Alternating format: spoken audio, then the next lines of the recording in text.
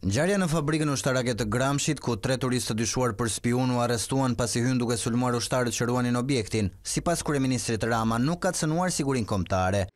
Tani të thuash që po bëhej spiunazh duke fotografuar ato mbetje arkeologjike të komunizmit është shumë qesharake. Ajo që duhet të ju shqetësonte dhe të na shqet dhe që na shqetëson ne është këta persona çfarë qëllimesh të vërteta kanë. Deklaratën kreu i qeverisë e dha gjatë konferencës së përbashkët për shtyp me kryeministrin e Luksemburgut, Xavier Bettel, i cili duke kujtuar të shkuarën e Ballkanit, që konsiderohej si fuçi baruti, Theksoi rëndësinë e nismave të reja që afrojnë vendet me njëra-tjetrën. Zona e Ballkanit ka qenë një fuçi baruti për kontinentin tonë dhe duhet ta shmangim dhe duhet të bëjmë gjithçka që ta shmangim, qoftë Open Balkan, kur ne flasim me njëri-tjetrin, e di që Kosova dhe Serbia po diskutojnë sot, është e rëndësishme të bëjmë përpara, nuk mund t'ia lejojmë vetes konflikte shtesë, nuk mund t'ia lejojmë vetes presione shtesë. Bettel hodhi poshtë mundësinë e përshpejtimit të procesit të integrimit për Shqipërinë në BE, për shkak të agresionit rus në Ukrainë, por solli në vëmendje planin Macron, që sipas tij do t'i afrojë vendet pretendente me Unionin.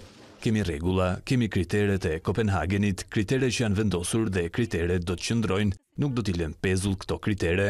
Pra, ajo që mund të bëjmë është të shikojmë se si mund të punojmë më ngushtësisht, si mund të mbështesim, si mund të ndihmojmë, por nuk mund të themi që për shkak të situatës gjeopolitike të kapërcejmë kriteret që ekzistojnë.